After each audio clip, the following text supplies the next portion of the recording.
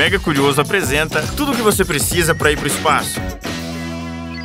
Ou, oh, tá aí de bobeira e quer ir pro espaço? Então se liga porque você vai precisar dessas coisas aqui para chegar lá na fronteira final. Vire um astronauta da NASA. É isso aí, galera. Até a próxima animação. Porra, brincadeira. Para ser um astronauta da NASA, você vai precisar de, no mínimo, um bacharelado em engenharia, ciências biológicas, ciências físicas, ciências da computação ou matemática. Pelo menos três anos de experiência na área em que você se formou ou mil horas de tempo de piloto no comando em aeronaves a jato. Bem fácil, né? Além de tudo isso, você precisa também passar nos testes físicos da NASA e ter uma visão perfeita para longe e para perto. Até dá para usar óculos, mas você precisa enxergar 100% com eles. Você também precisa ter habilidades em liderança, trabalho em equipe e comunicação. Tem tudo isso? Então beleza, agora é só mandar o seu currículo lá para a NASA. Mas a concorrência é grande, hein? Em 2016 foram 18.300 currículos.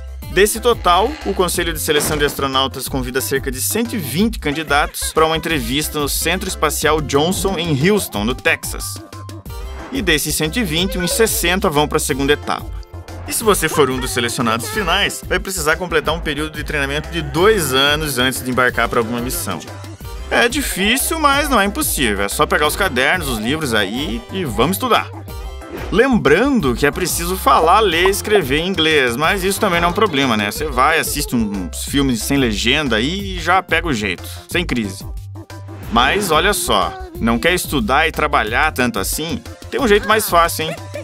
Companhias como a Blue Origin e a Virgin Galactic estão vendendo passagens para futuras viagens espaciais. Legal, né? Pena que esse passeio custa cerca de 300 mil dólares. É muito dinheiro, é mais caro que um passeio de escola. Mas ainda tem outro jeito. Faça algo brilhante e você pode ser um dos oito artistas renomados que Elon Musk vai levar para dar uma volta em torno da Lua em 2023. Tá, não vai conseguir ir pro espaço nessa vida? Tudo bem, porque ainda tem mais um jeito. Você pode ir para lá morto. Algumas companhias, como a Celestes, levam cinzas humanas para o espaço e espalham elas por lá. Desde 94, já foram 15 viagens só com essa função. O preço varia entre 2 mil e 12 mil dólares e vai depender do quão fundo você quer que as suas cinzas fiquem vagando pelo espaço até o fim dos tempos.